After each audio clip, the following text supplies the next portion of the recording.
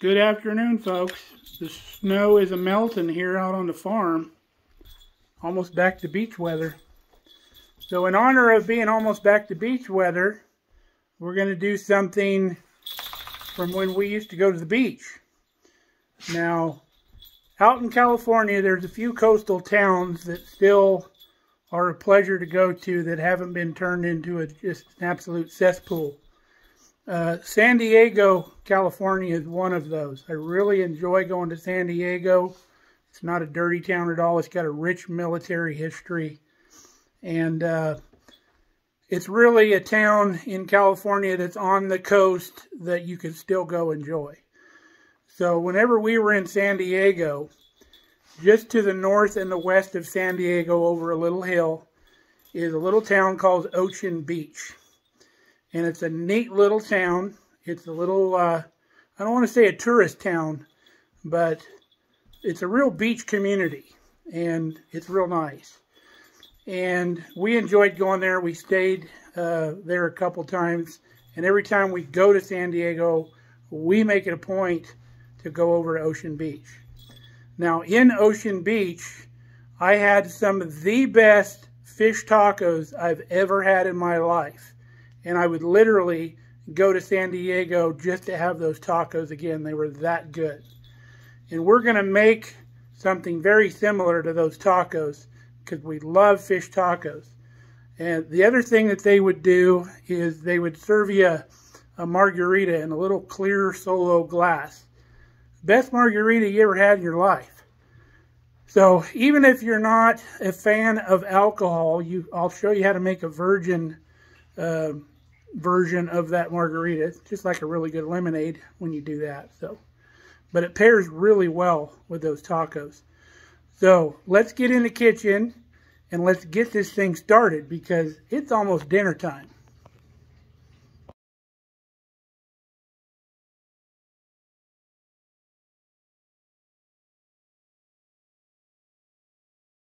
Now, the place that we would go to to get these tacos was right on the main drag, almost down to the beach. Uh, it's a place called Mike's Taco Club. Weird name, I know. But if you're even in remotely that area, you have got to go there. And I pray to God it's still open. But uh, it was right on the main drag there that goes all the way down to the beach where the little pier is and all that. Uh, there's lots of little shops along that beach where you can shop. Hodad's Burgers is also there in Ocean Beach, and that's another reason to go to Ocean Beach. Really good hamburgers. But we're going to focus on the tacos today. So the first thing that we need to get going, that I like to do early, even the day before, is put the sauce together. So let's show you what's in that. Okay, in our sauce, we got three quarters of a cup of mayonnaise, three quarters of a cup of sour cream, we got a half a can, and this is probably, let's see, 8 ounce can of chipotle sauce. You can also use chipotle in adobo, but you'd have to cut the uh, peppers up real good. A tablespoon of lemon or lime juice, and salt and pepper to taste. And then you stir all that up and put it in the fridge, and it makes a really amazing sauce for these fish tacos. Now we have a squirt bottle that we put it in. So that makes it a lot more convenient when you're serving it up. You can just squirt it out over what you want to serve it on. But you don't have to have one. So let's talk fish. I like buying tilapia for this because it's a real mild flavored fish and it comes in very convenient single fillet packages in the freezer so you can take out just what you need and leave everything else in the freezer. So we're going to take each one of these fillets and we're going to cut it lengthwise till we make one piece that fits really nicely on a corn tortilla. Now I know there's people that don't like fish out there. My mother's one of them. She never cared for fish. But she absolutely loves these fish tacos and she eats them like they're the last thing on earth whenever I make them. So I'm not a big fishy fish fan, something that takes crazy, crazy fishy. That's why I like the tilapia because it's a really mild fish. I also like flounder. I like sea perch. I like halibut. I would use any one of those fish in this dish because it's very mild and it's not real fishy and even your kids would love it. Make sure you're using boneless fillets so you don't have any issues with bones. And when you get those fillets out before you cook them, run your fingers across them real good. Make sure you don't feel any bones, bend them around, whatever. Make sure there's no bones in those fish. But uh, we're going to process these like I told you, and then we're going to come back and show you how to cook them. All right, we've sliced our fish fillets. You'll notice when you take the fillet out of the package that one side is thinner than the other side. What I normally do is I cut them so there's about an equal weight of meat on both pieces of that fillet that we cut. Now, shrimp also works very good in this dish. Shrimp tacos, fantastic. I usually don't bread the shrimp though when I make these. I will uh, pan fry them in a skillet or saute them with a little bit of chili powder, garlic, and butter, salt too, and uh, makes a really good sauteed shrimp and make these tacos with shrimp. Fantastic. Um, in a pinch, if you don't want to, you know, grill your fish or fry your fish like we're going to do, you could get the pre-fried fish in the freezer section if you just absolutely have to. I don't recommend it, but in a pinch, it's still a decent fish taco as long as you buy good fish, good fillets. Uh, if for some reason your family just will absolutely not eat fish, they hate it, I still recommend that you have them try it because they'll love it. But if you can't get them to eat the fish, you could do the same thing by making like a chicken strip by your breast fillets and uh, fry these up like we're going to do these, and it would still be a really good taco with the chicken. You ready for some fish tacos, Brandy? Yeah. So we have our breading station set up here. We have our fillets. We have a couple eggs that we've stirred up. We have our panko breadcrumbs. Now, panko breadcrumbs is a very important part of this dish. Anytime you're cooking fish or something that has the potential to overcook very quickly, you want to use something like panko breadcrumbs because they brown very quickly.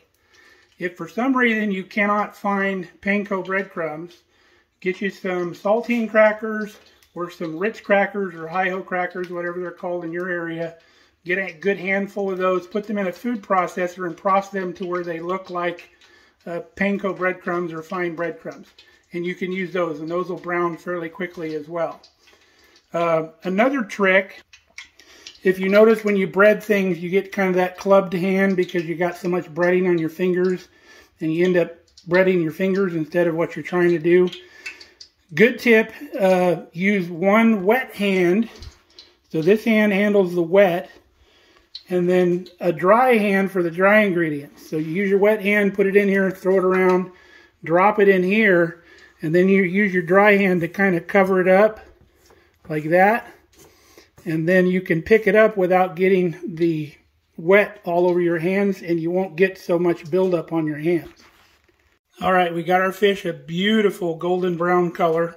And then as soon as that comes out of the pan, you want to salt that because that's when the salt will stick and not fall off. You also want to use a spatula in the pan because if you use tongs, fish gets really delicate once it's cooked and you, you'll probably break up your little fillets if you're using tongs. So I just flip them over against the side of the pan with the spatula and I take them out and drain them with the spatula. So let's cook one of our tortillas. We're going to heat this up on about medium heat. We put a little bit of oil on the pan just with our little spritzer with olive oil. And we're going to fry our little tortilla. We're not going to make it crunchy crisp. We're going to stop just short of that, and then we'll put them all in our little tortilla holder here. All right, we're frying up our tortilla. Move it around in the pan, get that thing moistened up a little bit, and then flip it over. You want it just before it starts turning golden brown. You can see it's just barely brown around the edges. And that's about where we want it, right there. So we'll cook the rest of these in a minute after I show you what we're going to do with that. All right, let's put our fish taco together. We're going to get some of our sauce. Put some sauce on that taco. Good stuff. Can't get too much. Then we're going to put our nice little fish fillet right there. And then we're going to get some Napa cabbage. Some shredded Napa cabbage because I really like that crunch that it gives. Don't substitute regular cabbage. If you can't get Napa cabbage, uh, go for like some um, romaine hearts or something like that for the crunch. And then I like a little bit more sauce on top of that. And then we're going to top that with two slices of avocado.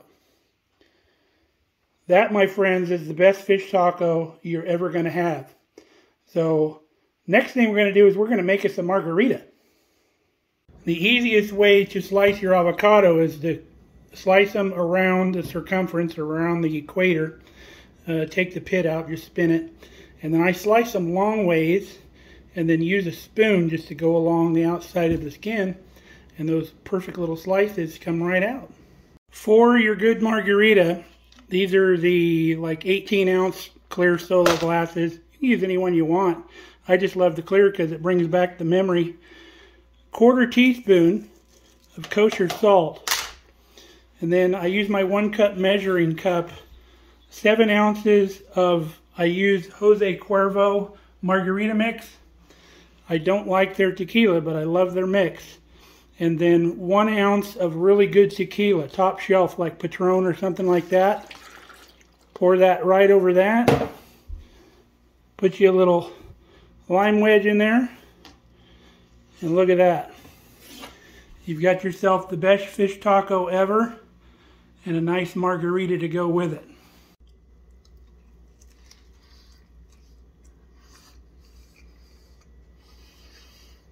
Mmm.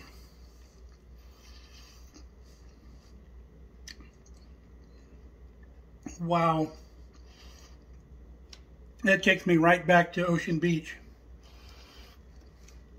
Cheers, my friends.